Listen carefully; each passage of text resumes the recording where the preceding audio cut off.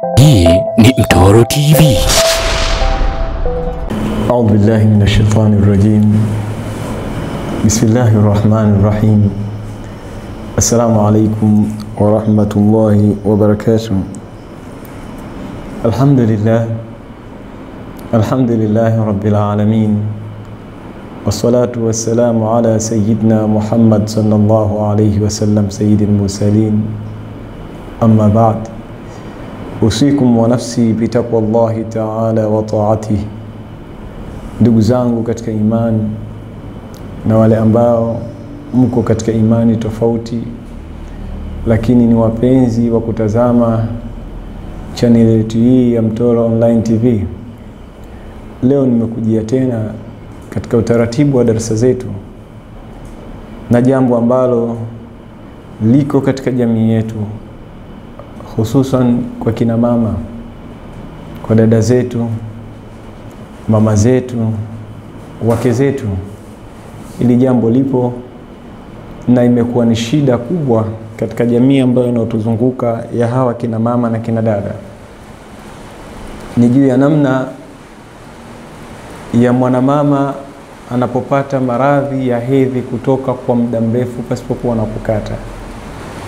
Ili tatizo liko katika kila pande tulizokuwa nazo na pia liko katika dunia. Ina maana leo Tanzania lipo, liko nchi mbalimbali.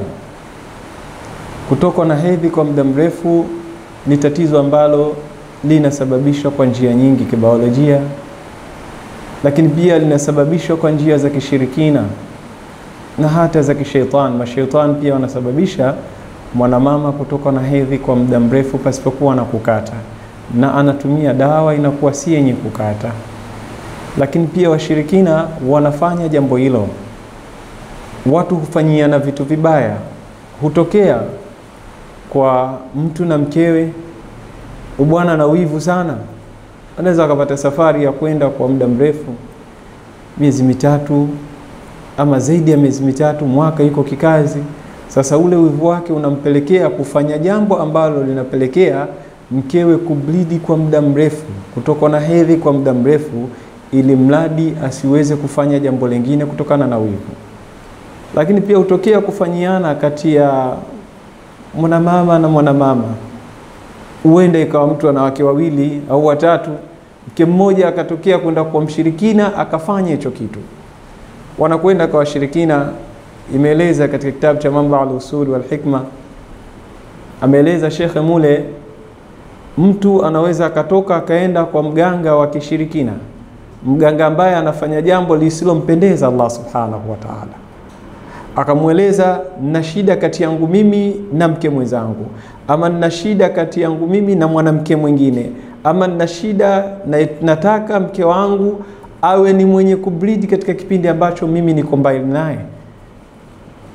Basi yule mganga atahitajia jina, kwamba jina lake anaitwa nani. Anaweza akatumia labda anaitwa Zainab, mama yake Amina akachukua jina la Zainab na Amina, ama akachukua labda anaitwa Rosi, mama yake anaitwa Margaret, akachukua haya majina, kisha akafanya kile afanyavyo, akachukua ubao, alafu akaandika maneno ambayo yako katika hicho kitabu ametuainishia shekhe. Kisha akishamaliza kuandika katika kibao, akampa yule ambaye aliyokuja, amwambia nenda kaweke katika njia ambayo anapita yule mwanamke, njia panda. Akipita yule mwanamke, watapita watu aina wa kila namna lakini ili jambo linakuwa si lenye kuwafika.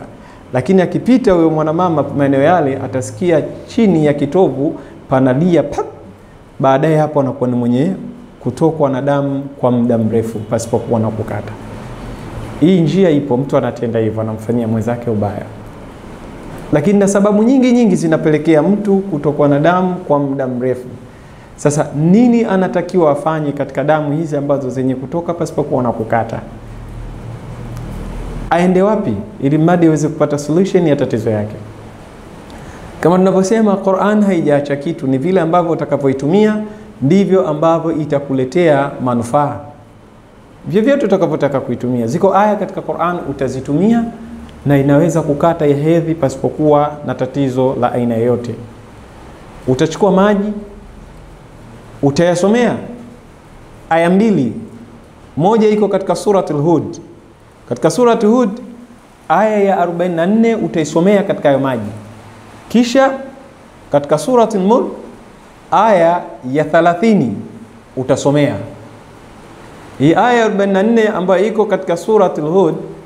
Allah subhanahu wa ta'ala anasema baada billahi minash shaitani rajim bismillahir rahmanir rahim wa qila ya ardu bla'i ma'aki wa ya samau aqli'i wa ghidha al-ma'u wa qudhiya al-amru. Hii aya utaisoma mara 21 na aya iliyokuwa katika surati Mulk utaisoma ambapo Allah anasema qul araaitum in asbaha ma'ukum ghaura faman yatikum bima'in ma'in. Hii aya nayo pia utaisoma mara 21 ama zaidi ya 21. Utasoma bismillahir rahmanir rahim bla'i ma'ak wa ya samau aqli'i wa ghidha al-ma'u wa qudhiya al-amr. Hii aya iko katika surat Hud aya ya 44. Kisha utasoma na aya iliyokuwepo katika surat Mulk aya ya 30 ambayo inasema qul araaitum in asbaha maukum ghauran faman yatikum bima'in ma'in. inayo nayo pia utaisoma. Aya hizi ukizisoma, alafu tena ima umesoma mwenyewe katika maji kisha ukanywa, ama we hujui kusoma ukaenda kwa mtu akakusomea aya hizi kisha akakupa yale maji ukanywa, basi ile damu inakuwa ni yenye kukatika biidhnillah, na ikiwa yenye kutoka basi itatoka katika mtiririko wa ada kama vile ambavyo inapokutoka katika ada zako.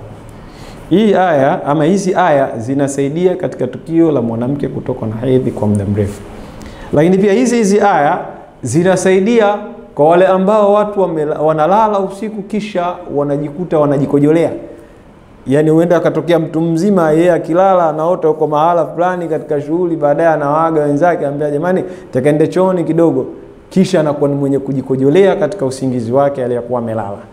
Huyu anaweza akasomewa aya hizi katika maji akatumia ikakata, na si tu kwa mtu mzima, hata watoto wadogo tunao wenye matatizo ya kujikojolea. Hizi aya ukizisoma katika maji ama ukaandika baadaye ukatia katika maji ukampa mtu akanywa, basi yule mtu mwenye shida hiyo ya hedhi kutoka kwa muda mrefu ama mwenye shida ya kujikojolea, basi ile jambo na lile tatizo linakuwa ni lenye kuisha.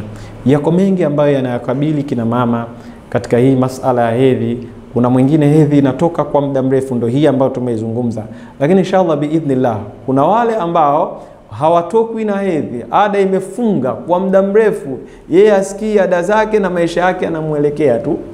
Ili nalo inshallah, Allah akituafikisha katika kipindi kijacho, tutaeleza nini mtu huyu afanye ili mradi arudi katika ada zake za kila namna.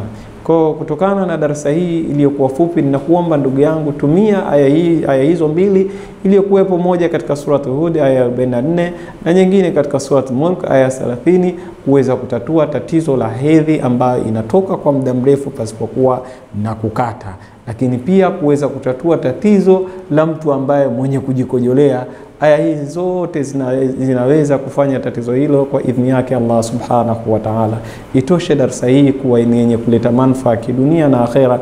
Allah aniwafikishe mimi msemaji na wewe msikilizaji na wewe ambao utakayezifuata aya hizi kuzifanyia kazi. Allah atie baraka na nia yako ambao unakwenda kulifanya litimie kama vile Allah mwenyewe subhanahu wa ta'ala alivyopanga. Kwa haya mafupi, wama alaina illa albalaghul mubin. Wassalamu alaikum warahmatullahi wabarakatuh.